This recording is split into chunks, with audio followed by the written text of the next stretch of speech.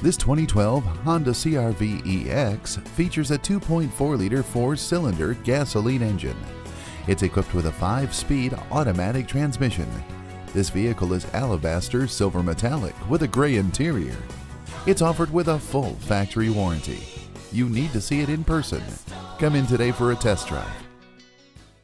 Honda Cars of McKinney is the source for all your automotive needs. Stop in today. We're conveniently located on Highway 75 northbound at exit 40A in McKinney.